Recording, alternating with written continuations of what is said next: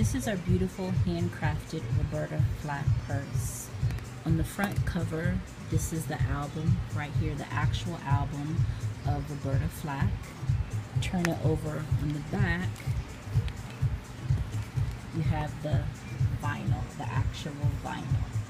So on the front you have the cover, the back you have the actual vinyl. The strap is very long, but it is versatile. It comes in very lengths because various lengths because you have a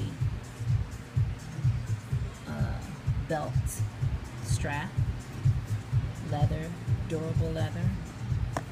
The side is also leather, very durable. On the inside.